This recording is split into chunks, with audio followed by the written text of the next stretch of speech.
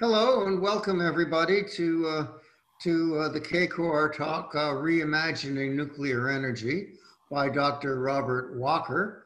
Um, and uh, it's my pleasure to, to introduce our speaker. He's an independent, the, the, the tagline on his CV is an independent advisor and retired public service executive. That, that hardly describes it. Uh, uh, the last um, um, uh, few years of his of his career was with uh, Atomic Energy of Canada Limited and um, and uh, senior vice president of um, nuclear laboratory uh, for, for, the nuclear labs of AECL, and then um, ultimately the president and CEO of that. Uh, and then when that's after I had actually lost sight of him because before that, for about 33 years, he'd been um, a force to reckon with in uh, DND and and the research and development department, and uh, he was he was uh, spoken of always very kindly as Dr. Bob, and he was, if this means anything to you, CRAD, Chief of Research and Development, and that's when I lost sight of him. At any rate, uh, he, uh, he, he now speaks about uh, the future of nuclear energy and the future of, of uh, Canada's energy system. And um, I'll turn it over to you. With respect, Dr. Bob. Thanks, Zach, and thanks for that kind introduction. And, and hello, everybody. Look forward to uh, our conversations over the next 90 minutes let me begin this discussion with a few points. First off, let me declare I'm pro-nuclear, and, and no doubt that'll come through in my presentation. However, I guess I call myself a clear-eyed uh, proponent for nuclear energy. Uh, three points. First is that I think we'd all agree that global energy systems have begun the transition towards a low carbon future. The debate is, is how to do so, how fast, and how to fund it secondly, there's a, a, broad international consensus among policymakers and and uh, the public that uh, a massive build out of variable renewables, wind, solar, will be a key player, if not the backbone in this transition. And the third point I'd make is that unlike the consensus around variable renewables, there is not a consensus among policymakers and the public on the role that nuclear energy could play in that transition. Uh, and that's what I want to talk about today, is what that future could be. And as the title of this talk suggests, the premise that this takes uh, some substantial rethinking of what nuclear energy is and what that role could be. And that's what I want to explore with you over the next 40 minutes or so. I'm going to start in a place that probably will surprise you because I'm going to start with um, uh, a core question. I'm just going to turn that pointer off to be able to advance here.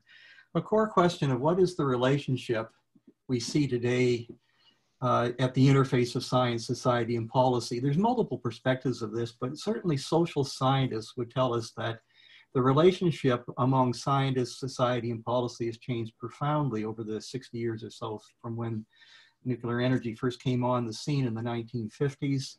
There is the uh, relationship between policymakers and scientific evidence and the advice of scientific experts.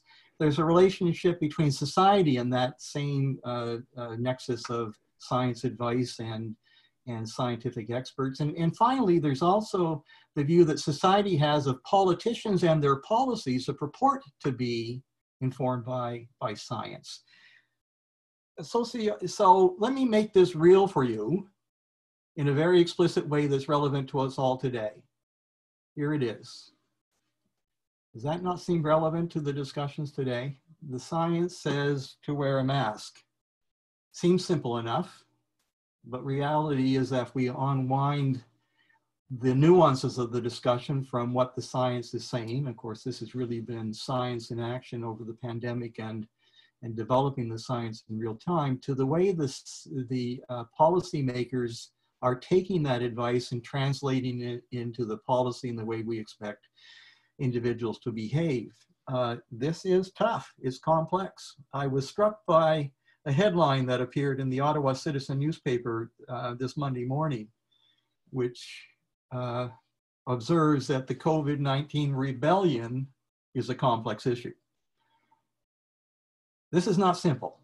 If it was just about the facts and acceptance of those facts, then frankly, nuclear energy would have a, a, a, a clear and, and viable future. But it's much more, much more complicated than that.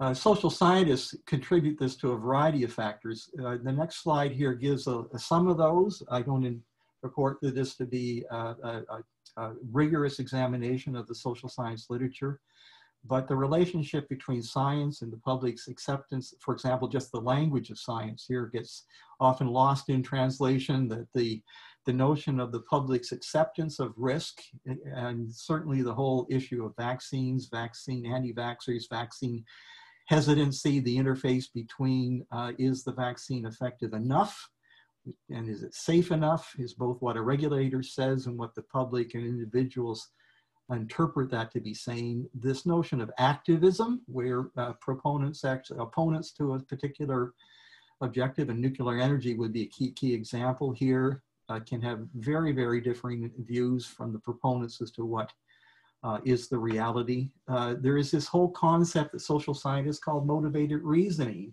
where uh, oftentimes we look at scientific evidence through the language of our tribes. Who do we connect with? This seems to be a very, very strong phenomenon in the US these days with uh, if you brand an individual as um, a Democrat or Republican, you can probably predict with a high degree of confidence whether there's a belief that, science, that um, uh, climate change is caused by human activity.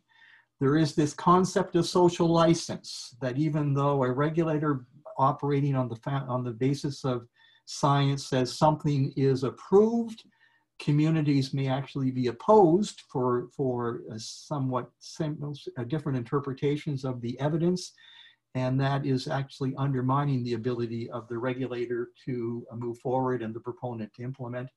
There is the relationship between science and media, and more specifically in the last decade with social media, where no matter what issue that you find there, uh, you can always find an expert that will come up and, and provide an opposing view.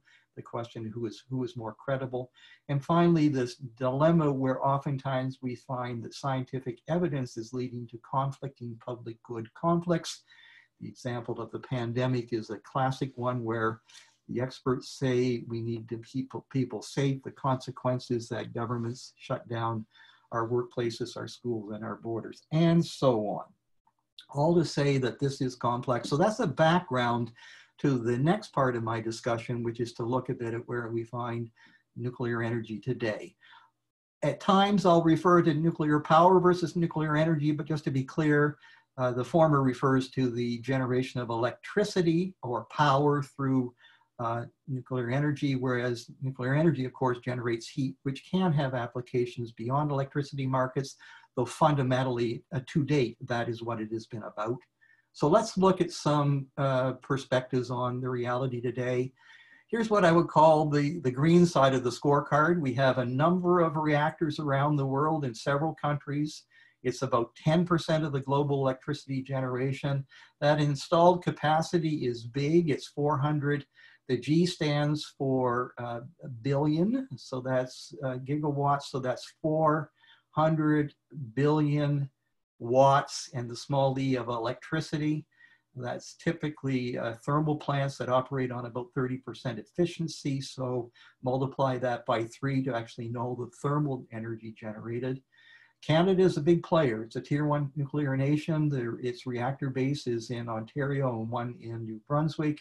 It's a big part of the energies, uh, uh, the, uh, the fact that Canada has one of the cleanest electricity systems in the country, that with hydro, and a big player in Ontario. Uh, reactors are continuing to be built. Uh, primarily, it's about the build out these days in Asia, with uh, China, India, and Russia leading the way. And those new builds are more or less on budget and on schedule.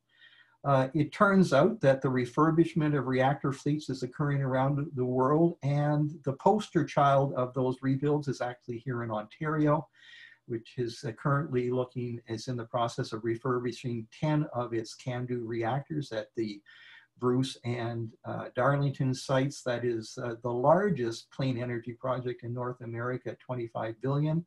I'm pleased to say the first of the 10 reactors has completed its refurbishment on schedule and on budget. Uh, and will deliver ultimately um, 30 more years of lifetime to those reactors at a price point that's about eight cents a kilowatt hour electric. And that is extremely competitive with, um, with all energy sources possible. And finally, if, if one is prepared to get into the data, uh, nu nuclear energy is among the lowest in terms of uh, greenhouse gas emissions, affordability, scalability, and even safety, including accidents. Uh, but we'll talk more about that later. That's one side of the ledger, but there's another side of the ledger as well. A number of nations have decided who have been uh, nuclear nations are, have decided to exit uh, from nuclear. I've indicated for the prominent ones. There may be others. I, I'm not quite sure if that's the case. We've actually seen the case, the, the largest number of plants in one country or in the US, which has about 100 operating reactors and has had uh, four, five, six of these shut down in recent years, not because they're unsafe or at the end of their operational life, it's that they can't compete with natural gas in the unregulated market space. We've also seen a number of new builds in Europe and US that are uh, way over budget and way behind schedule, principally because the reactor technologies that are being out, rolled out, and I'll talk about this in a moment, are what's called third generation technologies. So they're first of kind and historically nuclear is always has problems when it's rolling out first of kind uh, designs. And we still have the legacy of Three Mile Island, Chernobyl, and Fukushima those accidents that shape public perceptions. And when polling occurs, no matter if it's here in Canada or around the world, there continues to be persistent high levels of what I called nuclear energy hesitancy. So, so what's contributing to all of this? Well, let's explore this. It really does posit the future as having two rather, rather, rather stark uh, bounding scenarios. On the one, we'll see that current fleet of about 400 reactors over the next 30 years or so as, it, as they reach the end of their operational lives be shut down and not any longer play a significant role in a, a low carbon future. A second scenario actually would see the uh, global nuclear fleet grow.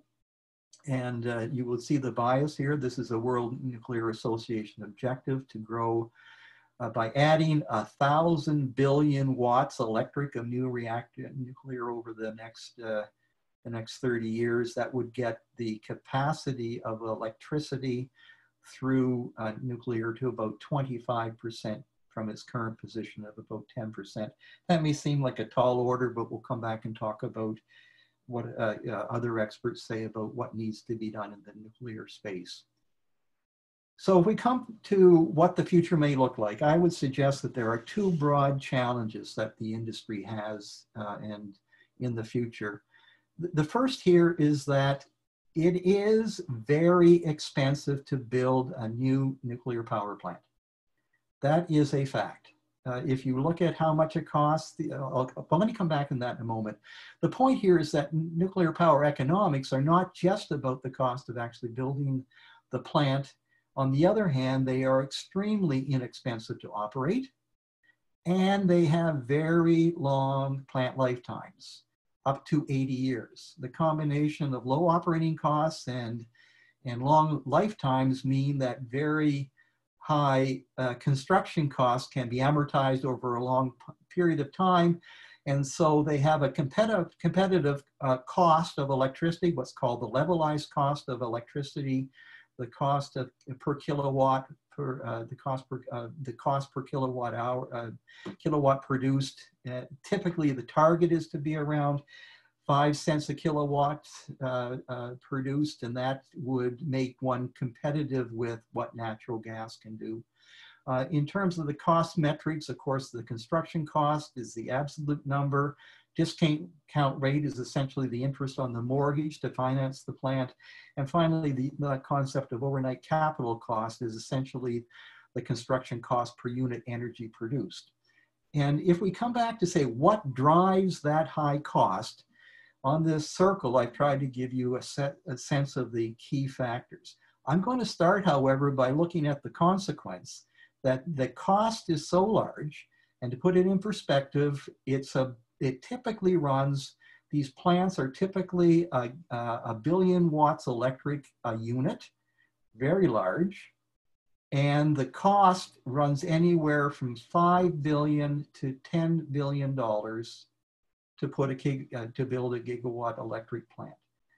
Uh, and oftentimes we're seeing these plants with multiple uh, reactor units at the same site. So we're talking enormous financing. The consequence of that is that that kind of risk is beyond equity markets. And so inevitably there needs to be some kind of state backing in the financing of these deals. Uh, of course, if you're talking about financing the build in your own country, that's one thing for the state to be talking about. If you're talking about financing the build in somebody else's economy, that's something else. Frankly, if we look at where new builds are, who is actually uh, leading the new builds globally, the key players increasingly these days are Russia and China. And why is that? It's because when they come to the countries, they also come with financing backed by the Russian and uh, Chinese governments, which is problematic in Western democracies. If you come to back what are actually driving those costs, it's an intersection of, faith, of factors. First, in the upper left, it's about the technology. Over these 60 years, it, we have gravitated to having about 80% of those 440 reactors as all in the, in the, in the technology of pressurized water reactors that use moderation of the neutrons to uh, go to relatively low levels of enrichment of uranium fuels. Uh, we are now seeing uh, the entry into the markets of what are called the third generation of these reactors. And the, the primary difference from the previous two generations is these reactors are now uh, what are referred to as passively safe. So with the loss, entire loss of, of off-site and on-site electrical power, the reactor will actually go to zero thermal energy on its own.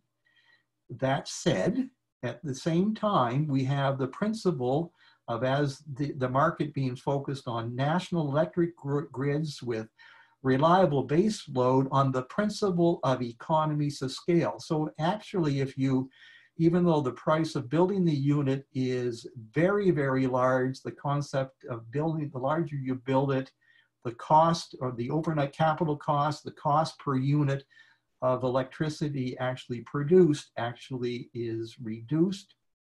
A key idea, however, is that for economies of scale to work, you need to be building enough of these plants so you get beyond the inevitable first of kind hurdles. You have the benefit of production learning from doing it repeatedly, and you get your supply chain performing at top notch as each reactor builds. Uh, as one example, in the build out of the CANDU fleets internationally, AECL's last seven builds of CANDU reactors were all built on budget and on schedule. Not so with early uh, uh, builds, and certainly the build out of the Darlington plant in Ontario was a case in point, which was very over budget and, be, and behind schedule. How long does it take to build one of these uh, large reactors?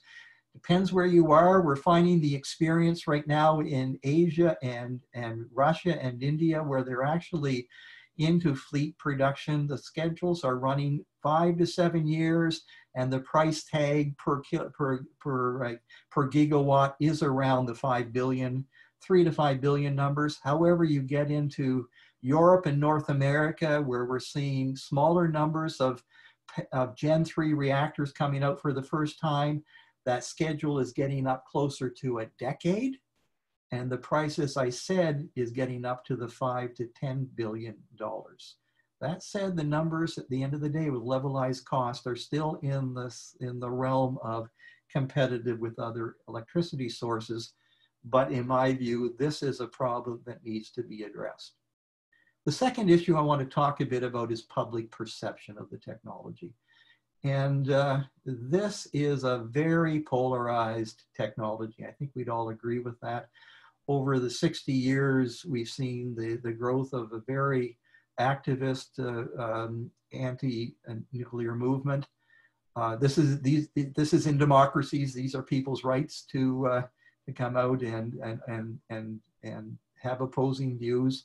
But the difference between uh, these two views, which both claim to be based on science and evidence, is quite stark. Uh, from if you just look down the notion of is it safe, uh, how does it deal with uh, with proliferation, is it is it economic, uh, is it clean or dirty, can it solve the waste problem, what about accidents, what about its radiation, and oh by the way we don't need it because we have renewables. Uh, this really does put in the minds of the public some pretty profound questions. Is it worth the risk? Do the benefits outweigh the risks? And finally, this whole notion of uh, are there preferable alternatives? And, and I say playing into this, there's a variety of, of, of realities, some of which relate to my earlier comment, comments about the perception of science in the public. Uh, but it's also related to the whole life cycle of decision making that goes around a nuclear power plant, which I've tried schematically to indicate here from a decision to, to build, to, to then operate and possibly refurbish, then operate and possibly decommission and ultimately dispose of the waste. And through that very long time frame, which you see here can be as long as 80 years, which is the CANDU fleets in, uh, in, in Canada are on the, the path to be somewhere between 70 and 80 years and maybe refurbishable again. Um, but within that cycle, we see the world changes. We see different uh, norms and public expectations. The marketplace changes. We see advances in science and technology, and we see other global disruptions that come along. And through that, then we see the decision characteristics are, are episodic with gaps in time we can see dramatic changes in the context.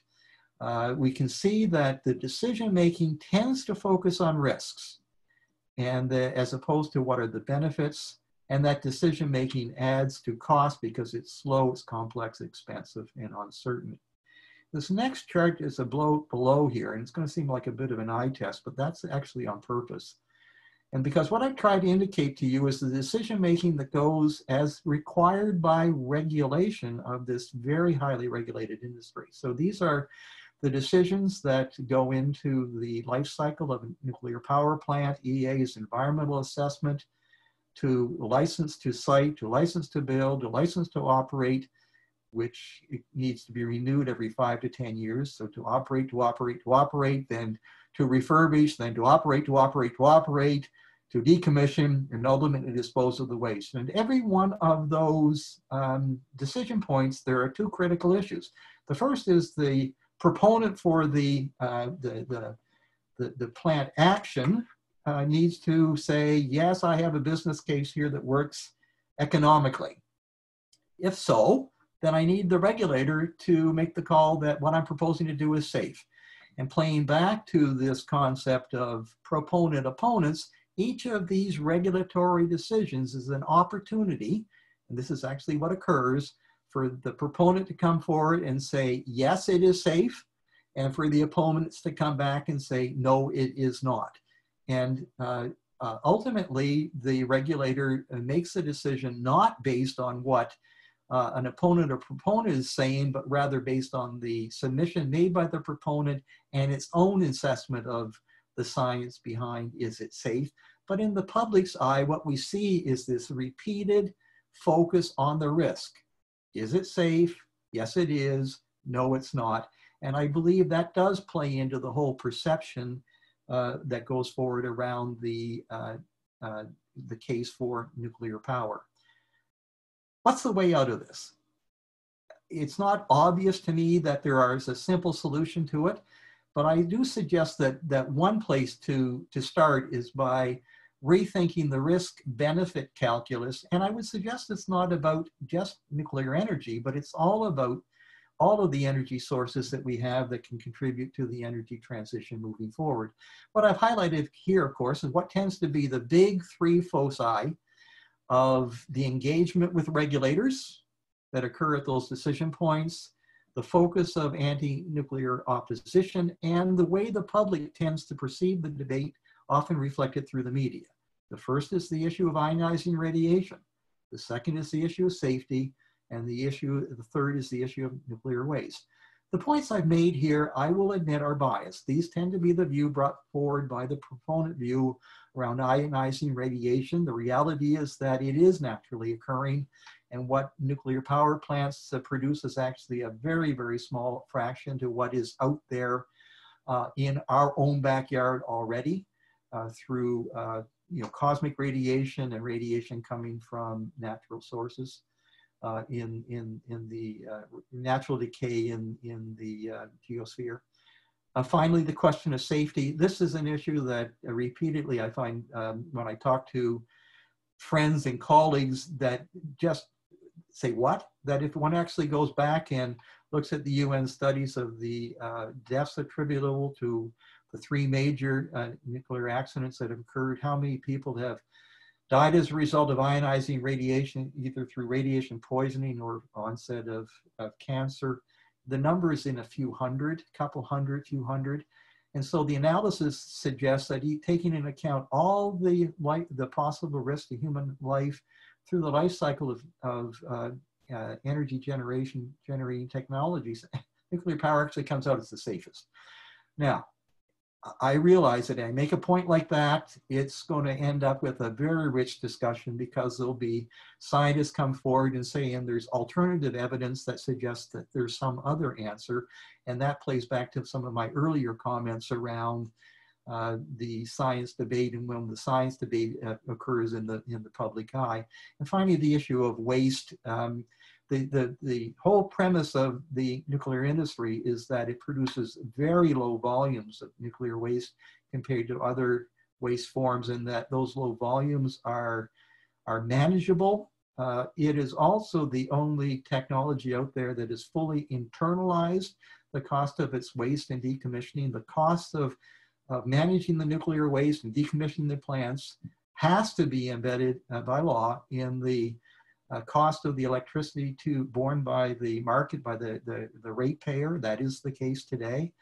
Uh, and the broad view that by moving uh, uh spent fuel into the geosphere, geosphere, geosphere, pardon me, provides effective barriers. All, point for, all points for debate, but these are all about risks. None of these points are about the benefit. And I, would suggest that there, there's an opportunity by adding to this a number of other perspectives that play into the risk benefit calculus, whether it's about water use, where nuclear is actually in the middle of the pack with other technologies, employment, a general view that uh, more jobs with nuclear energy, uh, greenhouse gas emissions, the, the tour de force issue today is that uh, throughout the life cycle, the evidence suggests that uh, nuclear is not quite as good as wind, but better than hydro and solar. Land use, it's way ahead other, of other um, uh, low greenhouse gas technologies.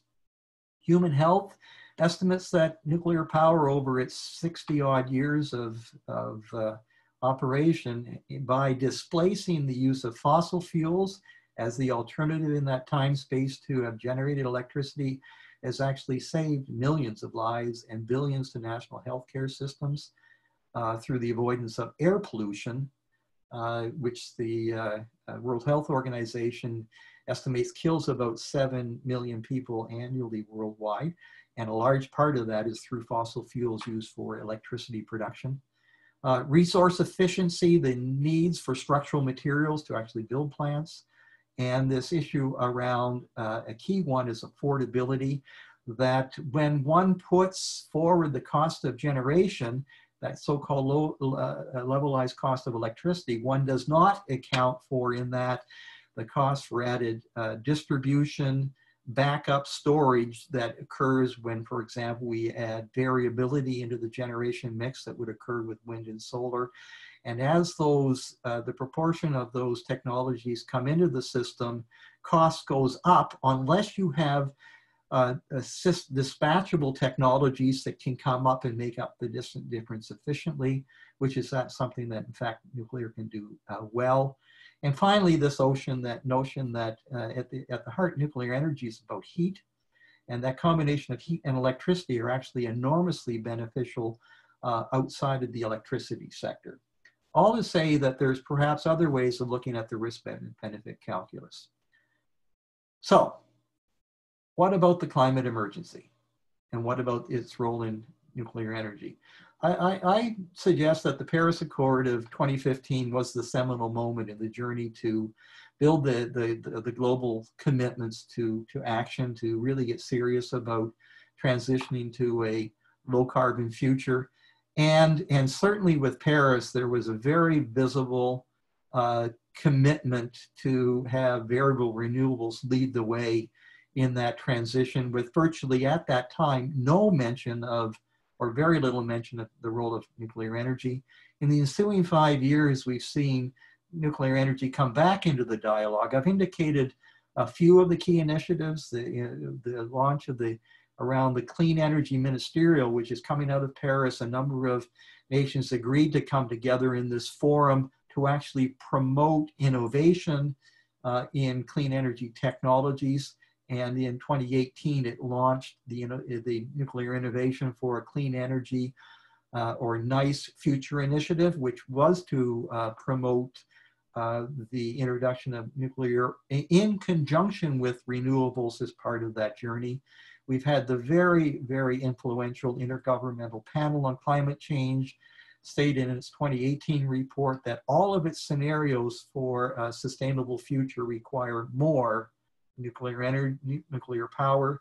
And finally, the uh, uh, OECD's International Energy Agency, generally considered as one of the, the most authoritative on, uh, on energy transitions, in its 2019 report, again made the observation that if we take nuclear out of the mix, uh, we're in a very hard place if we're not already there with the journey with nuclear. And what I want to do is spend just a few minutes and drill down a bit on what that, uh, uh, what the IEA is saying, because I think it really does get to the heart of a number of the challenges here. So I'm going to, in the next slide, uh, say that what the IEA has said about uh, the future of nuclear energy is, is, is six big points. And, and, and it's, it has focused on the power perspective, in other words, electricity, but I suggest that that's a somewhat limiting view of the potential for uh, nuclear energy, more of that in a moment. The, this first here is that it can play a, a big role in the, in the um, in clean energy transitions and do so in, in multiple ways. Uh, the, this, the second bullet here is that uh, we need essentially an all hands on deck uh, approach here, and nuclear power has some special reasons why it should be in the mix. The first thing is it said you have to take that existing fleet, those 440 reactors, and keep them on the grid as long as we can because it's essential to uh, what it uses the language, getting us back on track on the energy uh, transitions. It's not the time to be taking nuclear out of the mix. The, sec the third here is that if we do take it out of the mix, then it's the, the challenge of getting to a sustainable, sustainable energy future is all that much harder. This last point, if you take nuclear energy out, electricity systems become inherently less flexible. Uh, this notion that, as perhaps I've intimated with my discussions around the cost of, of building nuclear plants, is the, the, um, the hurdles in, um, in, in funding these projects are daunting. Uh, uh, but if we if we don't do it, we're in a, a, harder place. So we really do have to look at the the barriers to new construction. And as I've indicated, the mobilizing investment piece is is certainly one of those core elements. Uh, this very very simple but enormously powerful statement that you if you try to replace nuclear power with more renewables, it will cost more. And the final point here is some views on the policy levers that uh, policymakers need to consider to make sure that nuclear power is in uh, a level playing field with other technologies to be able to move forward. Uh, and uh, that includes, um, I would highlight uh, investments in, as, as we are advocating innovation in all clean energy technologies, we also need to move forward innovation in the nuclear space. And I'll be coming back to that in a moment. Let me show you a few graphics just to try to make this real. Here's a, a chart I, I, took out from um, an IEA publication uh, this year. And, and it's looked at uh, uh where it posits uh, we could be um, in, is gone 2070 and in its 2020 energy outlook, it actually has created an even more ambitious scenario that has us to what it's referred to as net zero carbon emissions by 2050 versus 2070. The column on the left is where we are today. The units here are millions of tons of oil equivalency. So essentially a unit for energy and perhaps the numbers, that what's important is only the relative numbers here because uh, it's a way of comparing all of the technologies possible. And, and this is for energy, not just for electricity. Uh, the one on the right says if we just take the policies that governments have stated today, where will we get to? And you'll notice we, uh, at the end of 2070, we're at about the same emissions level as we are today. Clearly, that's not going to work.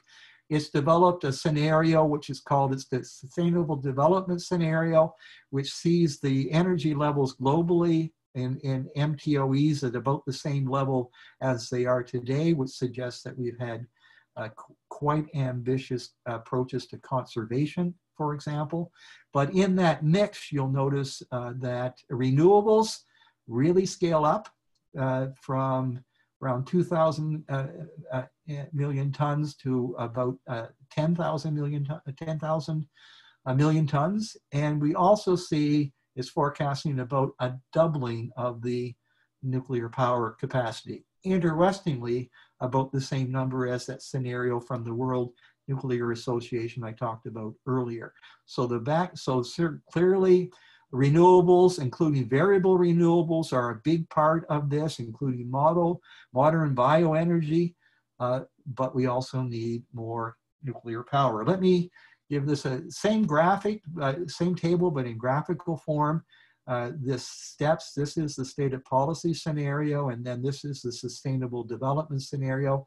These, the, scales all normalize to 100%, uh, but these dots indicate what percentage of the uh, energy source is from fossil fuels, numbers dropping dramatically, not to zero, but dramatically.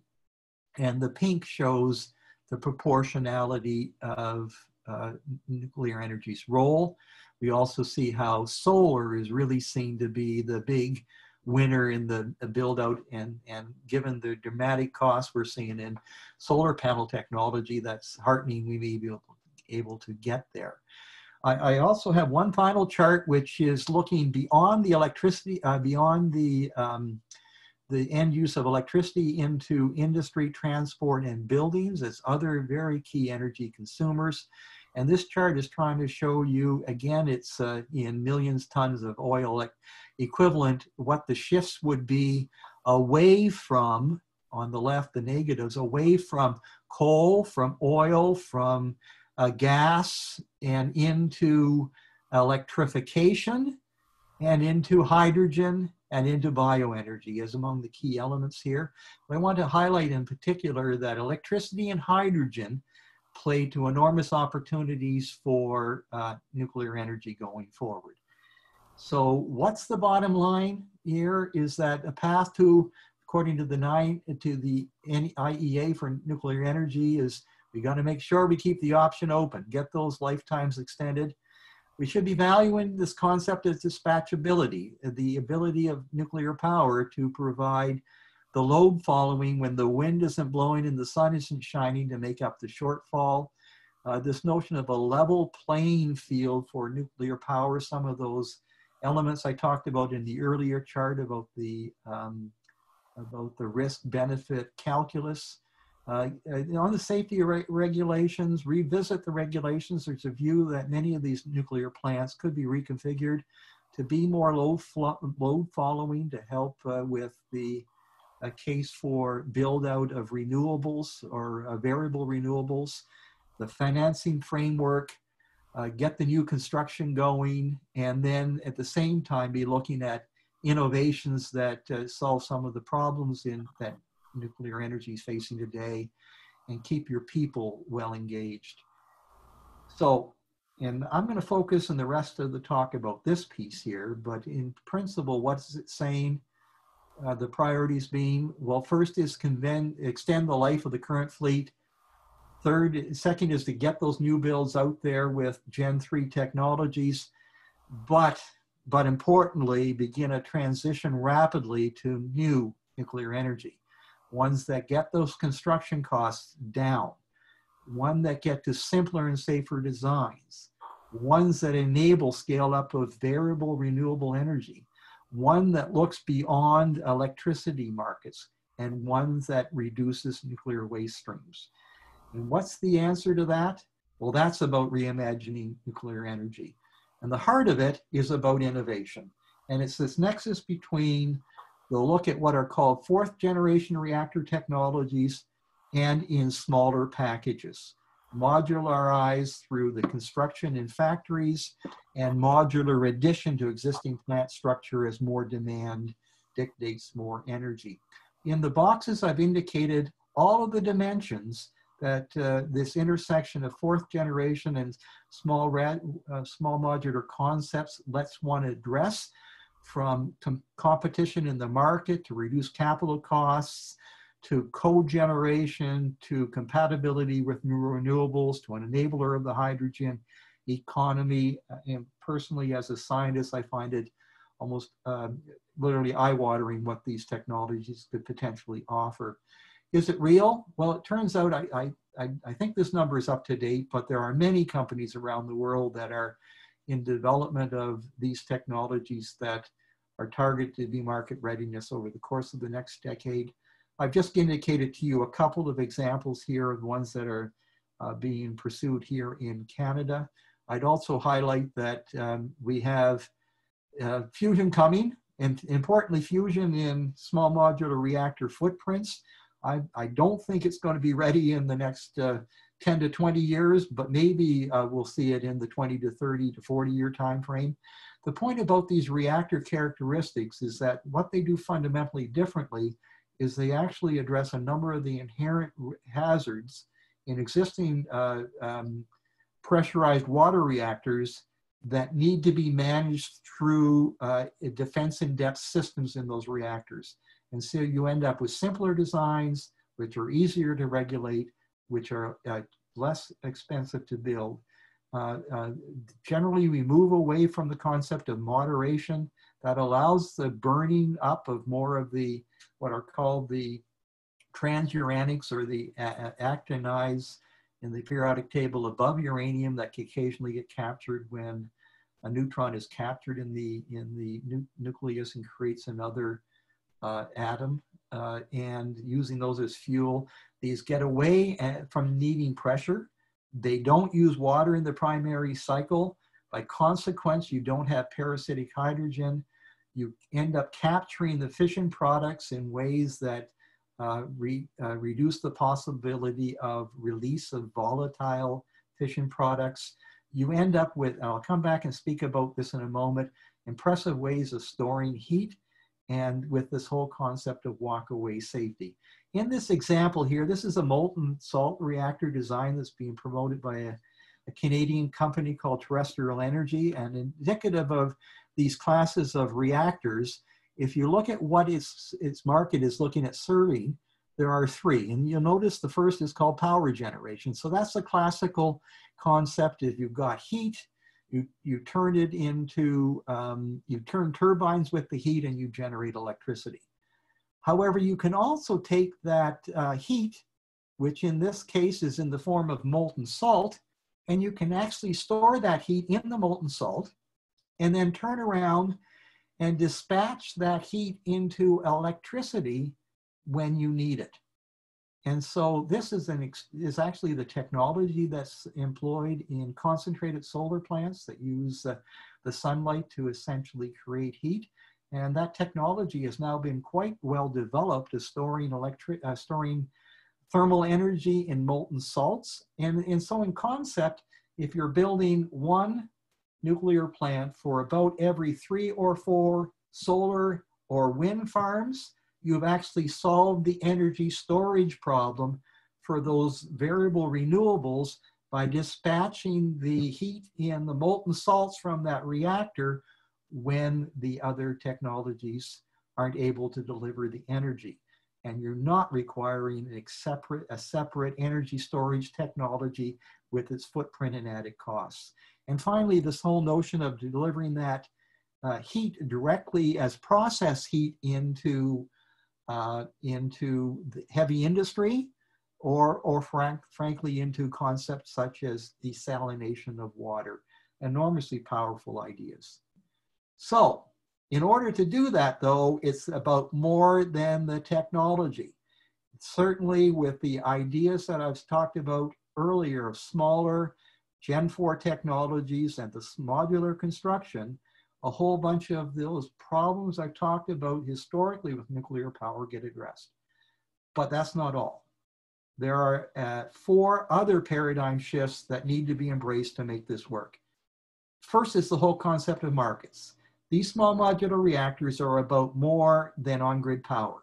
Yes, they are very much in that space. A typical uh, gas or coal plant is around 150 to 300 megawatt electric. So you provide a one-to-one platform for changeout. You get the opportunity by adding more mo modules for electrification growth. And as I've indicated earlier, matching up nuclear with solar and wind actually solves the energy storage problem. You end up with a solution for resource extraction and for heavy industry, which typically sees energy requirements in this range of 10 to 50 megawatt electric as well as wanting the thermal energy. Importantly, this is a very powerful way of moving us to the hydrogen economy. And finally, we have remote communities, which need electricity, district heating, desalination, food production. These typically are in the one to 10 megawatt electric range. And certainly in Canada, our northern communities, many of which are in an energy poverty situation, could benefit from this technology. The second is the concept of fleets. Right now, as I've indicated, the principle of uh, affordability of nuclear power plants is on the concept of economies of scale. The bigger you build it, the lower the unit cost of electricity per uh, uh, unit of electricity delivered. In the SMR concept, it's the economies of multiples. Repeated building of the technology gets the production learning uh, more effective and dramatically reduces the unit costs. Something we all know if we own an iPhone to what the price of that was a decade ago versus what it is now relative to the technology. It very much depends on standardization and importantly also on harmonization of regulatory processes across countries. That said, it's also important to recognize the profound difference that comes with the concept of SMR fleets relative to what we see today.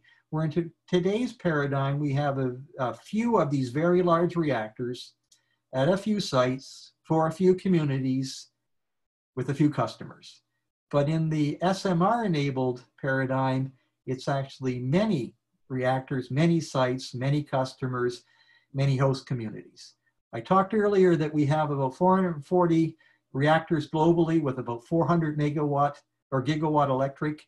Well, if you, if you go from a gigawatt per unit plant to 100 megawatt per unit plant, that's a factor of 10 increase in the number of reactors we have. So it's no longer 400 reactors, it's 4,000 reactors. And if we go to 10 megawatt electric per unit, it's 10,000 reactors. So the numbers really do require rethinking of the paradigm.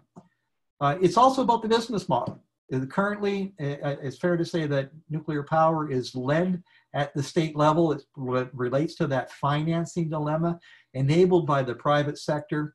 With SMRs, these are within the realm of the equity markets, so it becomes private sector led, and the role of the state is with policies to enable.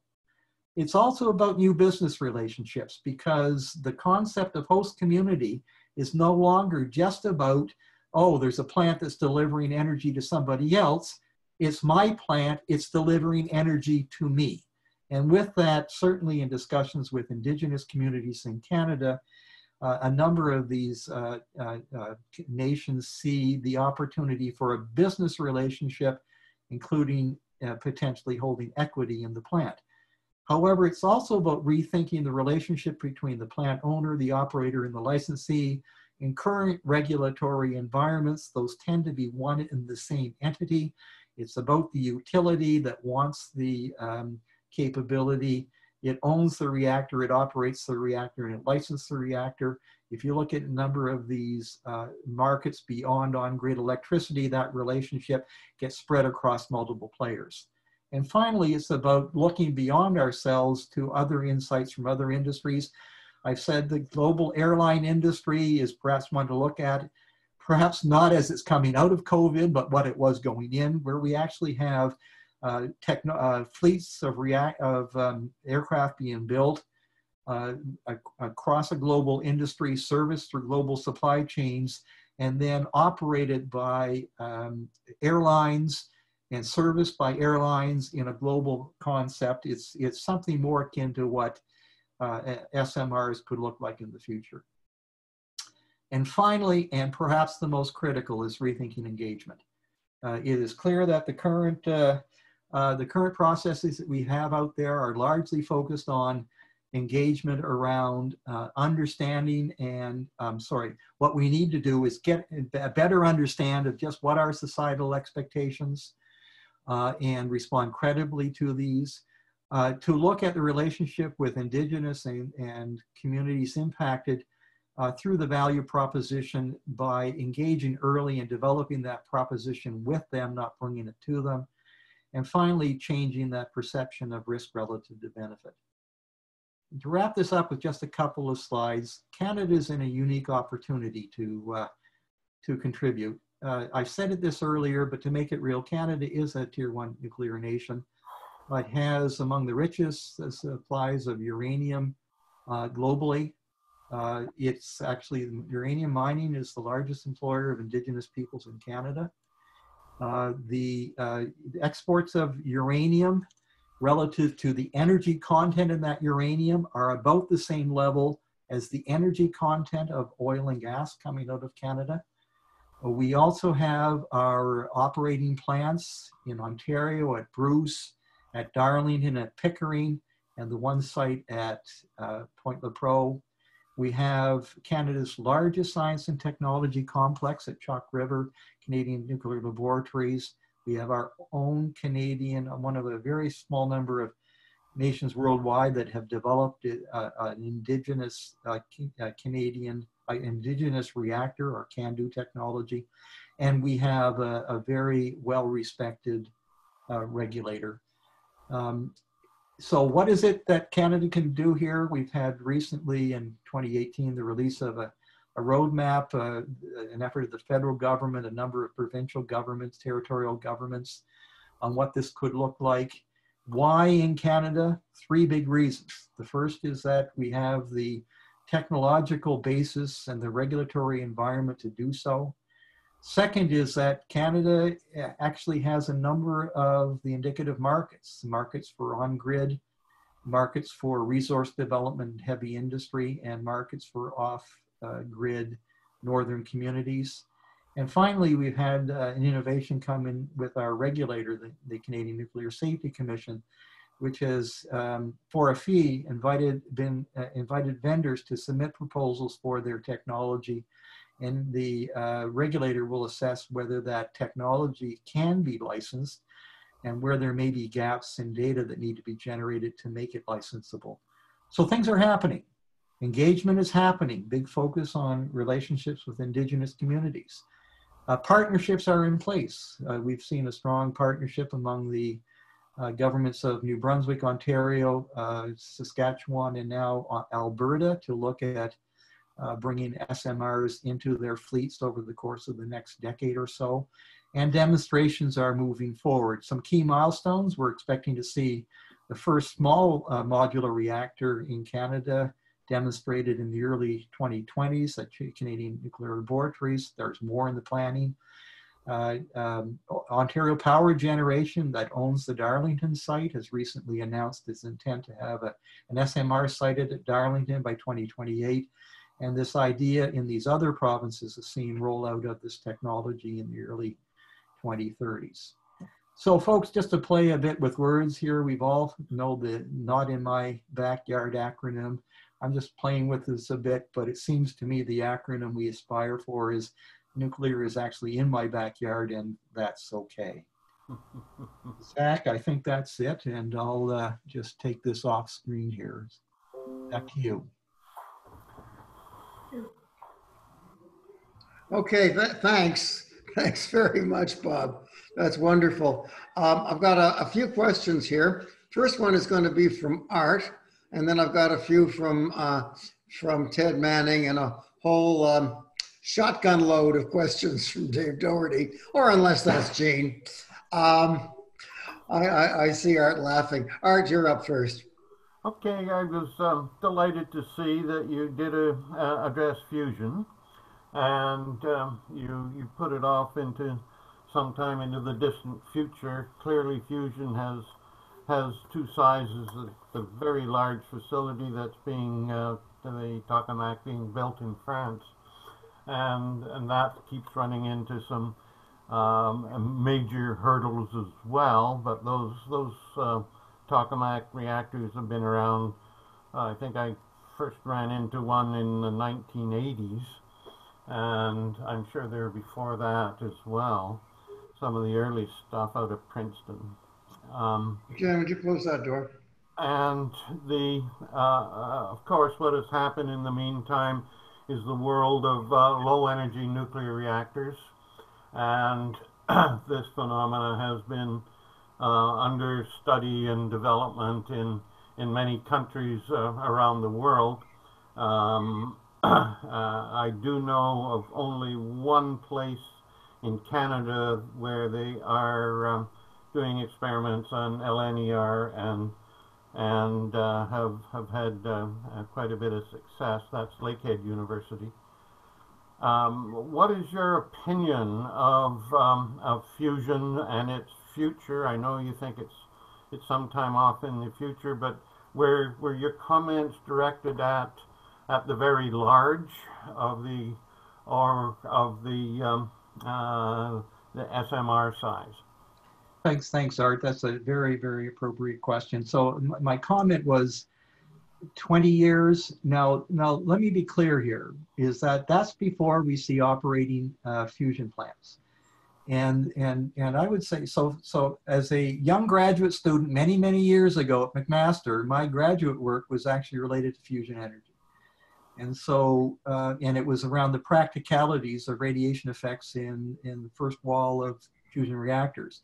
There are many, many uh, challenges beyond the question of can I sustain a plasma. What the positive thing that's occurred in the last decade is we've actually seen an, ups, an upswing in private sector investment in what it takes to engineer a fusion reactor solution. And interestingly, the focus has been on small modular, small modular reactor packaging of these concepts, as opposed to looking at gigawatt plus plants the size of ITER and whatnot. We're actually talking about units that would be generating something on the order of 100 megawatt electric. And, the, and among the recognized world leaders in that field, please Google it, is, is uh, General Fusion a company located in Burnaby, British Columbia. It's been around for about 15 years, and it is actually moving now to what it's called its first prototype demonstration of its concept. And so I believe it's coming and it's coming. And uh, I just can't predict how fast here, Art. What I find compelling though is because of this focus on the SMR solution, as it comes online, you can do a one for one replacement with conventional nuclear, or well, uh, sorry, with, with, with fission SMRs. So, uh, but you have to still make it work economically. You have to deal with fuel issues because it still will use radioactive fuels, and uh, because the the general consensus that you have to use the deuterium tritium um, uh, fusion reaction is the most viable, at least early days. So I do believe it's coming, and we need to be investing in fusion. The problem is I don't think it's going to get there at scale. We need to get to where we need to get to by 2050. But all of that technology that we're looking at getting there by 2050 will need to be replaced to continue to be zero net zero going into the future i believe that fusion will come into the mix and play a significant role thank you i, I had a comment um, um, which i'll just throw in before i turn david loose um, the um, uh, the question is, um, should we, um, have you considered all of the, um, the, the more dire climate change thoughts in the scheduling? I worry, frankly, that you, that we don't have until 2070 of a stable, um, of a stable situation to build any kind of reactors. So, um, uh, was was um, a climate change schedule included in that schedule that you were writing down?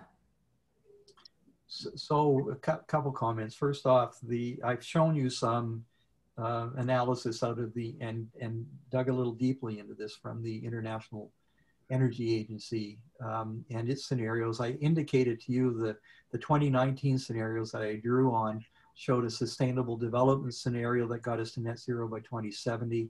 Its World Energy Outlook in 2020 uh, published a new, what it's called its new net zero scenario, which gets us to net zero by 2050. And it's essentially more of the above, but faster. And it, it my, my view here, uh, uh, Zach, is one needs to look at this, absorb it, and just realizing how daunting the task is. And uh, we need to start now. And, and what we need are solutions that work technically and solutions that are affordable. And frankly, solutions that don't uh, create other problems by solving one problem. We need variable renewables at massive scale. But we also need to make sure that the grid needs for electricity, which speak to reliability, can also be addressed. And this is where important synergies can occur between technologies like nuclear and variable renewables as we go forward. My concern is that too often our discussion gets locked in on a certain uh, view or a dogma that, um, well, because of nuclear safety, we've got to take it out of the mix. Uh, I, you know, frankly, I think Germany is a, is a fascinating case study on, on what can be happening if we take nuclear out of the mix too quickly before we're ready to actually bring uh, uh, re, um, variable renewables that scale into the mix. It's daunting. So I, I would say that the climate emergency is just that. What it needs is an on, uh, all decks on hand solution giving every technology the opportunity to contribute based on its strengths and to free up the potential to do so. And that requires investment from the private sector. It requires the right mix of public uh, policies and it needs uh, a broader societal engagement so society understands and, and is comfortable with the mix that is going forward led by policymakers. I, I, guess I'm, I'm just saying that the ambition that we've got here, for example, in the SMR roadmap in Canada, could it go faster? Uh, yes, but it also needs investment to go there. And that's where, frankly, governments get stymied is that, you know, in the face of a pandemic, do we put the money into this as well as into the renewables that we need going forward? it's complex. I hope I didn't duck the question here, Art, but I, I or Zach, I think uh, I've tried to give you a pragmatic view of what's needed, uh, and I hope it's been seen as such. You didn't duck it at all. I, am I'm, I'm very grateful. Thank you very much. Um, you said it's a major question. It's a hard one, which I guess I knew that. Um, listen, uh, Art, when when does this uh, uh, session turn into a pumpkin? I've got a raft of questions here. Uh, many of them are from uh, one one particular direction, but several of them are from other directions. When do we turn into a pumpkin? we, we can go on as, as, as long as we wish, but I, uh, I suggest that we, we follow the order that they came. I think Jean was next. Okay, well, uh, Jean, uh, you're up with several, but before interspersed with you, uh, there there's Bill Bill Pugsley, and I know it's not Jean. you don't like my hair today. Okay, so kind of a segue. It's Dave. Um, I think, Bob, that what I really just heard you say is that this is urgent. Also, as a result of the scale of the problem, which directly leads to my question, the first one, uh, it says to me that actually what we need is a national energy plan. You can call it whatever you like if you think that the last time we tried to do that was disastrous, which it wasn't.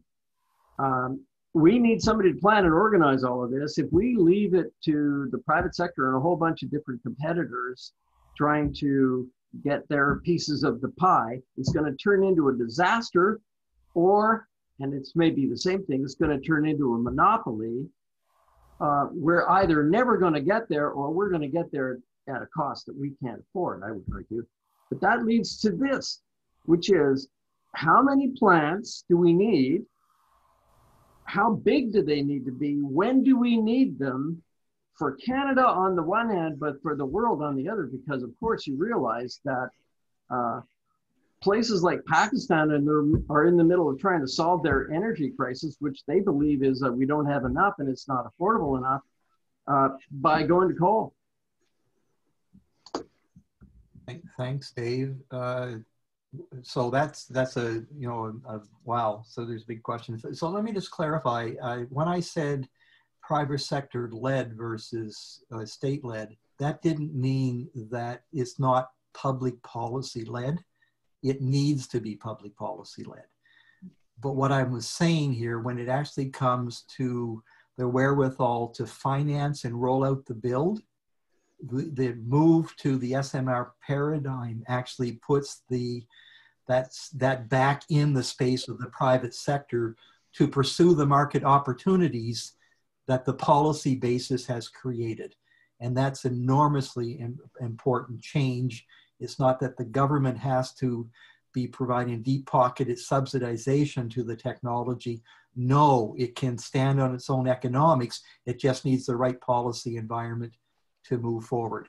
When we come back to the issue of, of choice, the reality is that all nations around the world, depending on their economic reality, are making choice as, choices as we speak that are both contributing to solving the problem and are compounding the problem.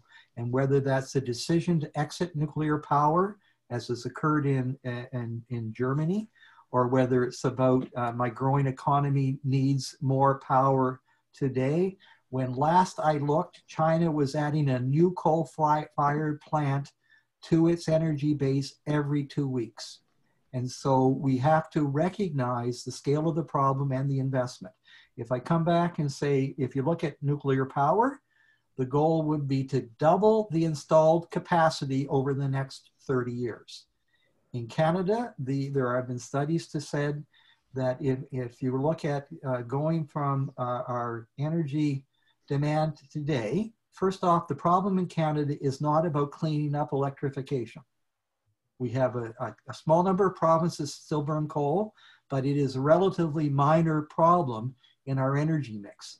Our problem tends to be with energy consumed in transportation, industry, building, heating.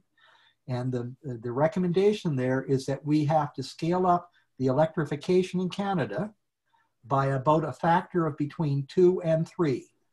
What is the scale of that? Enormous. Uh, I don't know if anybody online is uh, from British Columbia, but you have the big uh, Site C dam that's trying to, hydro dam that's trying to move forward for approval. Imagine in the next 30 years building 200 of them. That's the scale of what's required. And so in case the recommendation is you would have to double or tri triple the installed uh, capacity in nuclear in Canada. The view is the way to do it is not by building gigawatt plants, it's by building uh, modular plants that can do a one for one replacement of, uh, of what we have in uh, natural gas and coal today, and do it in conjunction with the rollout of solar and wind so you come back and solve that energy storage problem I said. So, you know, you can, you can map this into the numbers. Part of the dilemma we have here, Dave, is that it's the question of, is it a field of dreams solution? Do I build it and they will come? A big reason you need to electrify is because you move to electric vehicles and your demand for electric vehicles pulls the need to invest in more electrification. Who starts first? You build the plant and wait for electrification or of, of, um, of uh, cars or do you uh, look at electrification of cars and build, then build the plants? It's, it's Perhaps we need to do both. To date, no provincial utility in Canada has actually forecasted a demand in electricity in their province. None, zero. Yet, all of the analysis says that we need to electrify home heating and, uh, and uh, transportation to solve this problem. But, but if the utilities aren't building the capacity because they don't see the demand, you're in a circle and a vicious circle. So anyway, I, I, I, perhaps I'm wandering in my comments here, but I hope I'm touching on some of the points you're making here. Um, thanks, uh, uh, um, uh, Bill, uh, Gene. Okay. Um, um, listen, there, there's a few more from from uh, Dave and Gene, but um, I've also got from Ted and Bill Pugsley and from uh, John. So let's go to Ted and then Bill and then John and then come back to, to Dave, if you will accept that. Okay, so uh, Ted, um, would you go next? Oh, you're not muted. Ted Manning, are you there? Going once, going twice. Bill Pugsley, are you there? I think so. uh, first off, uh, thanks very much, Bob, for your talk. I was very interested in it. Um, and uh, I might say that uh, before I give you this question about uh, uranium resources worldwide, uh, at, at, National Defense College, I did my thesis there, and that was about 30 years ago, on the need for nuclear submarines for the Arctic, the Canadian Arctic, um, to maintain sovereignty over the threat of foreign foreign countries looking at after our resources up there. And this brought me into uh, the whole question of nuclear submarines, which, uh, as as a group, uh, the totals are around. I mean, the Americans have about half of the nuclear submarines in the world, with 72, according to unclassified sources and uh, they're not diminishing from that. And so that in turn represents about a third of the number you quoted for uh, the world's uh, nuclear plants. Well, a third of the nuclear plants are in boats under the water. And so that means there's another asset, another dimension to all this. Anyhow, getting back to my question, which was driven by uh, the reason I joined CACOR in the early 90s, which was because Rob Hoffman, uh, had developed a world model, a global system simulator, which uh, he changed to ad adapt to the global uh, scale. And that allowed um, people who were interested in what's happening globally with climate change and all that to do various experiments. So one experiment I did was to say, okay, if we replaced all the conventional electricity generated by conventional means, hydro, uh, fossil fuels, or whatever, with nuclear power, uh, what would it result in globally? And the answer was, in order to do that, um, you'd need 50 times as much uranium as uh, is, is used now. And we, the current or the, the then global supply was about 15 times more. So that told me right off the bat that nuclear power uh, would never be more than, uh, at, at best, 20% of the total. The, but the surprising other result was the simulator said that there would be so much uh, carbon dioxide or G, GHGs produced in creating these nuclear plants that it would overwhelm um, the CO2 uh, globally. Um, so this meant that if you did go down the this route, and you seem to be hinting at that when you say going up by a factor of 10 at least, that the construction of the plants, the cement used and all the rest would be a, a factor to consider uh, seriously. So the question is, um, to what extent is the world supply of uranium uh, a limiting factor for nuclear power on a much grander scale, as we are finding lithium is in developing batteries for electric vehicles. And as a PS to that, about a year ago, I was in Portugal. And I found that uh, Portugal is the uh, leading country for lithium in Europe, which uh, in turn led the government to push electric vehicles all over the place, much more so than in Canada. So back to the question, how does the world supply of uranium affect uh, going grand scale nuclear power?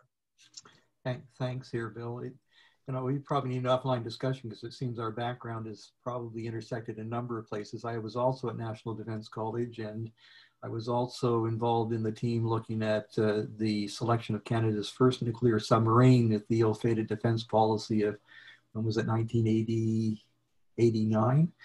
Yeah, I uh, think three three different governments have approved uh, a nuclear submarine fleet for oh, Canada. Yeah, going back to Baker and then Mulroney. Yeah, to be clear, we were talking about nuclear propulsion, not nuclear weapons. But uh, so, right, but right. The, the, the point the, to your point, uh, the the concept of small modular reactors have been around for 50 years. It's it's embedded in uh, military nuclear propulsion. These are small modular reactors. So it only points to the feasibility of the concept, if you like, that we're now performing, uh, proposing for a larger rollout in the uh, in the uh, global energy industry. Uh, the issue around um, how much uranium is out there is a bit like the peak oil argument. It seems like uh, that anytime we've been viewing we're running out, we just do more exploration and we find more. Uh, the current estimates I've heard is that if we proceed at a pace somewhat uh, like we're on today, there's enough uranium for about 300 years. So you look at doubling it, which is what the capacity forecasted in the IEA reports would be. We'd bring that down to a, a shorter number. That said, we're now into the question of whether it's economical to recycle the, um, the used fuel, which only uses about 1 to 2% of the uranium energy content in that fuel and using it again. And a number of these SMR concepts actually propose that. And then ultimately you get into the concept of uh, fuel breeding using another uh, uh, element called thorium, which is in a very massive abundancy. And you can put the thorium in the reactor. It captures a neutron and transmutes into a fissionable version of uranium, which now can be the fuel source. So these designs are all possible. It costs a bit more to go into what's called breeding technology, breeder technology, but should you get to a point where uranium is scarcer and more expensive, those technologies become affordable.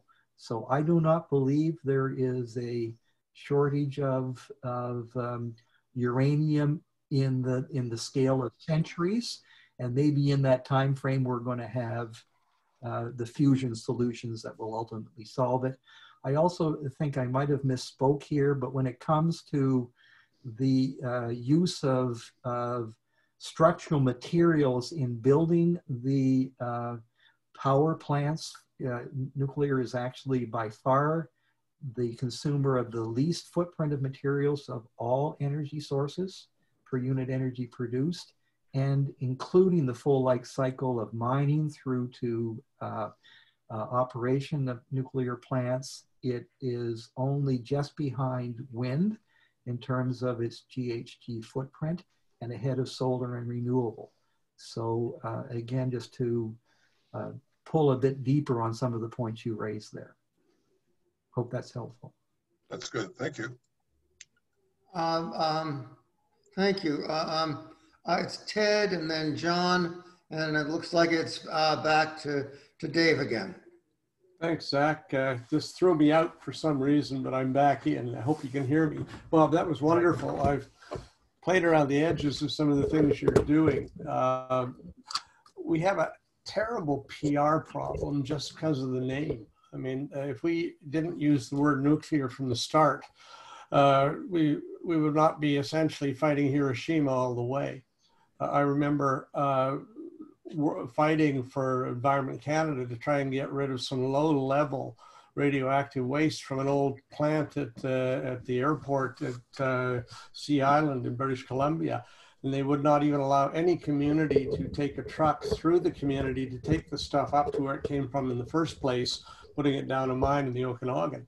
Uh, they were so afraid, and yet the uh, actual level of radiation was less than a than a box of wristwatches going to, going going to Walmart.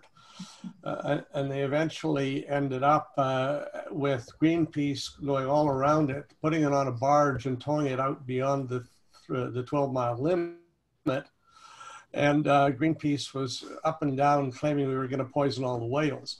Uh, the, the issue really is, uh, you know, I think I think the technical solutions are far less onerous than the human ones, and I, I was very pleased that you addressed that issue of of trying to make it palatable. I have one uh, comment: location most of our urban, our nuclear plants now, uh, in Canada at least, are in urban or semi-urban areas. Uh, and therefore the fear is being stoked every time somebody sees a, a, truck that has a radioactive symbol on it go by. Uh, one of the solutions somebody had suggested was we go up to the source near Athabasca Lake put them all there and use new fiber optic graphene technology to bring the, the electricity largely lossless, leave the stuff there, and even though technically it may not be essential, uh, psychologically or socially, that might actually work.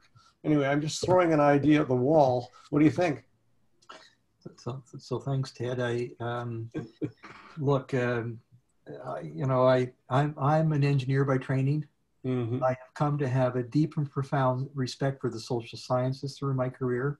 Mm-hmm. My earlier comments around, uh, you know, the science, mm-hmm. society, and policy uh, relationship is driven by some of my work with social scientists. And I believe if there's any industry that needs a whole lot more social science in it, it's the nuclear industry. Yeah. And I think as general, uh, the culture of engineers is we'll just talk a little louder and tell people the answer and the facts, and mm-hmm. everything will sort itself out.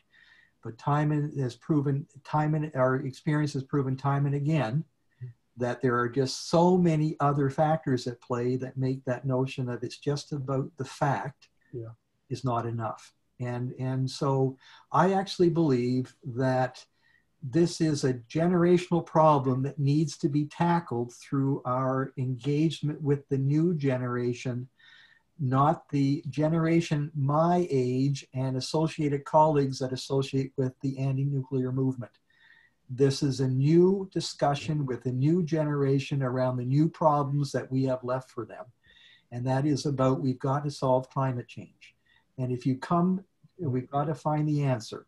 And if you come forward and say, I can give you an answer that enables solar and wind, that uses the least resources, that actually does it at an affordable price, uh, and looks at the benefits, then whether you've branded it nuclear or not, you're going to move forward. I also would just come back and pick, pick your point that you've got, there's some truth in what you're saying, because if you go back 30 years ago, when the technology was first rolled out, there was this great breakthrough medical technology called nuclear magnetic resonance, MNR, NMR. And very early on, it was recognized this isn't going to work. Let's call it MRIs. Mm-hmm. Get the word nuclear out. But what is it at its heart? It's a nuclear technology. And so, uh, but to the point, yeah. is that I believe, and frankly, polling suggests this. It, certainly, if you go out and repeatedly you bring together young Canadians in a discussion around how do we solve climate change, mm-hmm. and then you bring in a discussion of nuclear's role, and let's talk about ionizing radiation, let's talk about safety, let's talk about waste, but also let's talk about GHG footprint, how it enables renewables, the air pollution, all of those perspectives generally people nodding up and down, let's make this work. And I believe it's that kind of recasting of the problem with uh, a new generation of Canadians that perhaps aren't wedded to uh, their current uh, uh views is needed. And frankly, that that's there's a number of, of people in the industry, the nuclear industry, that need to change their mindsets as well. Well, fast follow-up question: How come France manages to get almost what two thirds of their power from nuclear. How did they get away with it? So, in, in another time, I tell you right now that uh, uh, France is actually in a very, very precarious place with nuclear energy. Uh, right now, uh, some polling numbers, I won't have this precise, but I think I'm close to the numbers, that in the age cohort from about 19 to 30 in France, and that age cohort, 70% of those, uh, of those uh, individuals believe that nuclear energy in their country actually contributes to climate change. Oh dear. So, so Good luck. it is a major issue in that in that country as it is elsewhere. So just the fact yeah. you have nuclear at home doesn't mean your population is with you. We mm-hmm. really do need to engage in more effective ways to tell the story. Thanks very much. Oy vey. John, you're up. Thank you, Zach, uh, and thank you, Bob Walker. That I really thoroughly enjoyed that. Partly because my first six months in Canada, I was a guest in the laboratories of AECL at um, at, at Chalk River, uh, and in that time, I met John Hilborn and Peter Stevens-Guille, who built Slowpoke I think it was a 20 kilowatt self regulating reactor. And there are one or two of those still around, but they didn't really go anywhere. Uh, let, me, let me make an observation. Um, on the roads in Canada, re in recent years, we kill roughly 2,000 people. So we say six a day. Now, if there was a plane crash that killed six people, it would be front page news for a couple of days. So, uh, the, the ability of our society to balance risks is rather modest. Now, let me tie that, in a sense, you've already answered my, my question in your response to Ted. Um, our parliamentary democracy has changed quite substantially uh, in the last three quarters of a century from when the decisions were made to establish AECL and, and go with uh, uh, build a CANDU. Um, in those days, uh, the parliamentarians, the ministers, the governments were wide open to uh, professional advice on all subjects, and, and they were willing to look out for long periods of time. In the last two decades, perhaps three, parliamentary democracy in Canada has become a one man band. F permanent electoral mode in, in our parliament and, and no clear sense of, of, the, of the obligation to future uh, generations.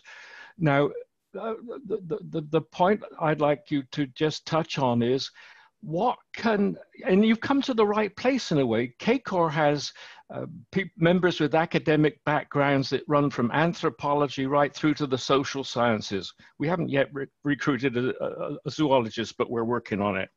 Um, and um, uh, we i don't think CACOR is a modest think tank is capable of doing much in the way of communication, but where do you see the onus? Who could communicate and establish the national mood that would open the door to what you're talking about?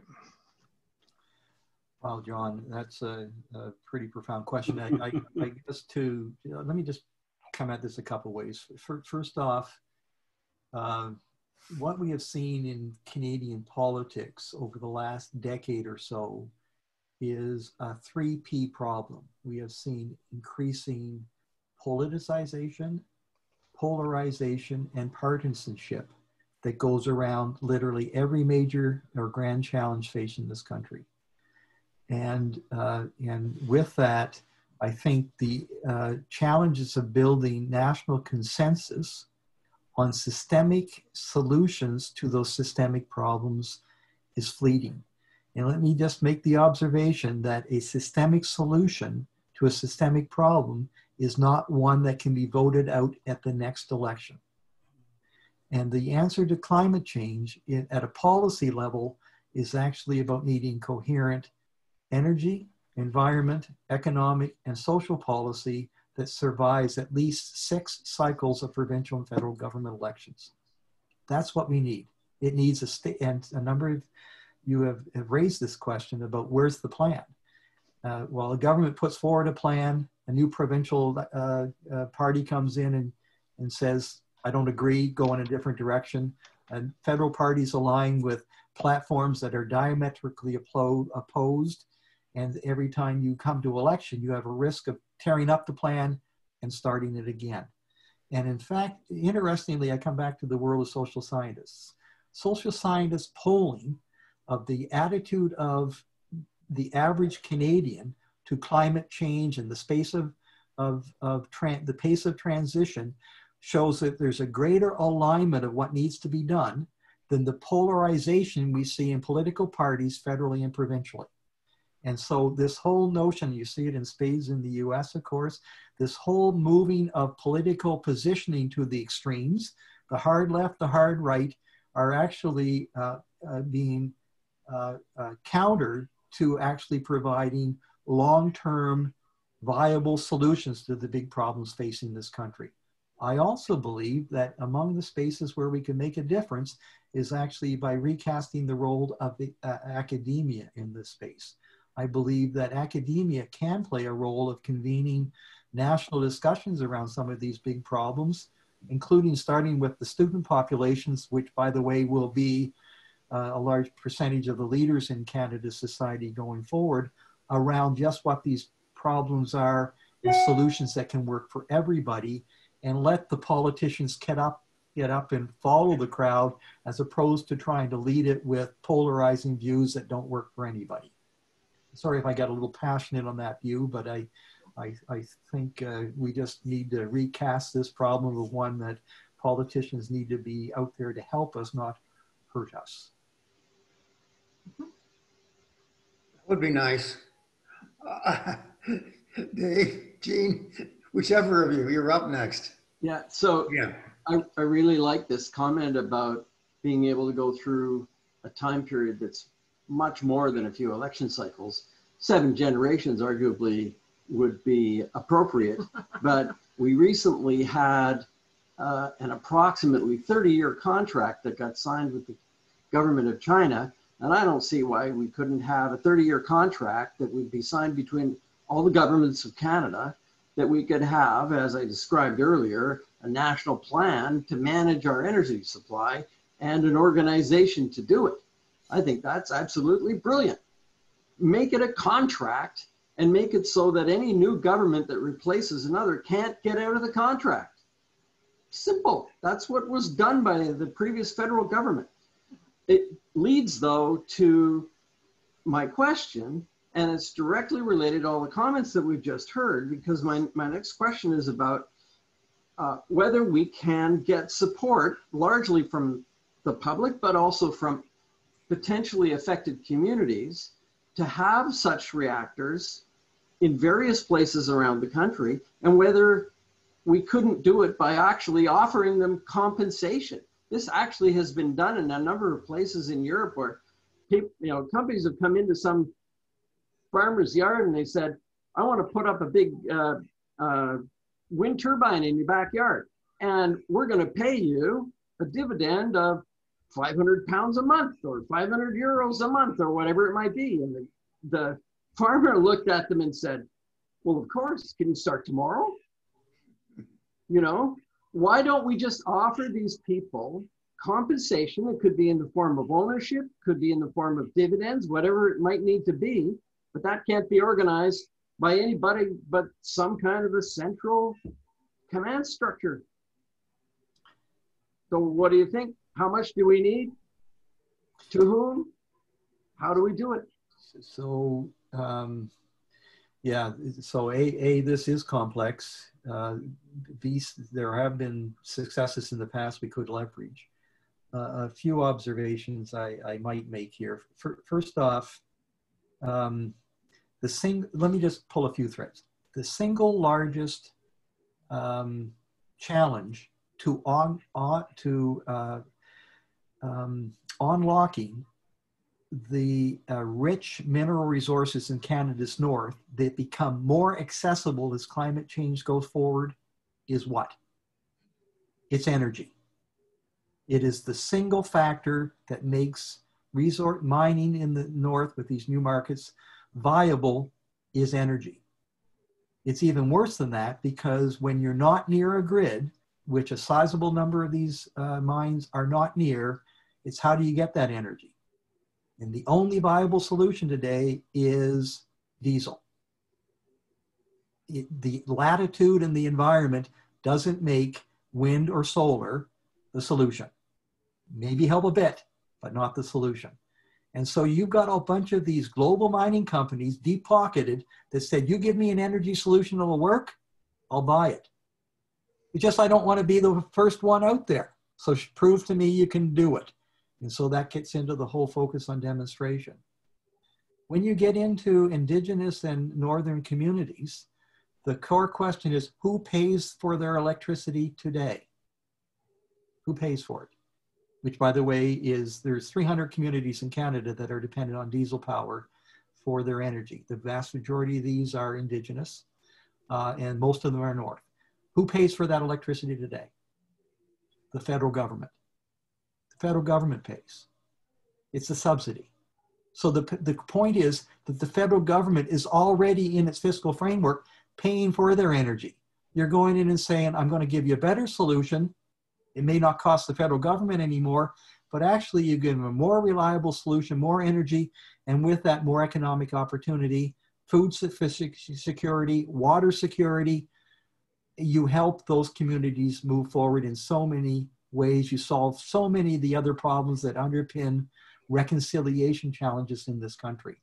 And the discussions with a number of those First Nations say, aha, we're interested and we want to look at this as a business deal, my comment around the business model, and we're prepared to not only house it, we're prepared to invest in it and own equity.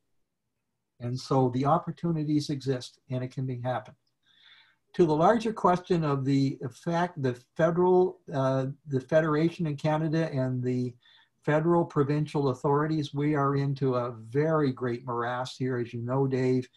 I mean, energy supply is the provincial authority. Energy regulation is a federal authority, at least when it comes to safety. And how do you square the circles in that? Uh, you know, you've seen the challenges around carbon taxation. Uh, we've just got to move beyond the bun fights between federal and provincial governments and and and the notion of political futures and trying to uh, uh, get reelected to what's in the national interest and ways to move that forward. We need those mature discussions. I'm just not convinced they're going to occur in the House of Parliament. I love that. What a way to end that. Listen, we, we, we, I don't know how long, how much longer we can go on, but this was so much fun, Bob. Thanks so much. I really, I'm really glad you came in, and I'm really glad to have heard all of this stuff. And thanks everybody else for talking and asking all the questions. And Art, I don't know what you want to do now. Do you want to Parliament tomorrow, or